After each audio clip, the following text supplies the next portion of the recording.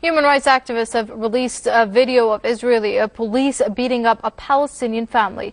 Here's more on that. Israeli troops stormed into a house resided by a Palestinian family in the city of Jaffa. Israeli troops attacked every member of the family, including an elderly woman. She was brutally beaten by an Israeli officer while trying to protect her son from being abducted by Israeli forces.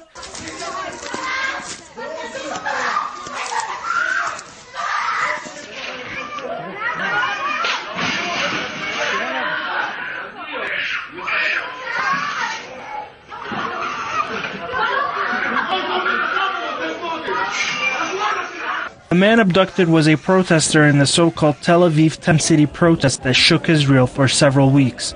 According to the mother, the officers came to evict them from their home. The EU and the United Nations have called on Tel Aviv to stop the eviction of Palestinians from their homes. International lawyer Franklin Lamb says Israel is further isolating itself through such acts. This is the clear message that Zionist apartheid Israel has no place in the region and it has no place in asking uh, for its three real terms, $6 billion a year handout from the American taxpayer. We're fed up.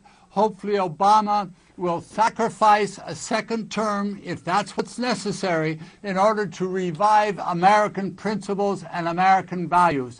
Israel has found many different ways of killing, harassing, abducting, and evicting Palestinians from their land. It continues to do so as the West, particularly the U.S., turns a blind eye.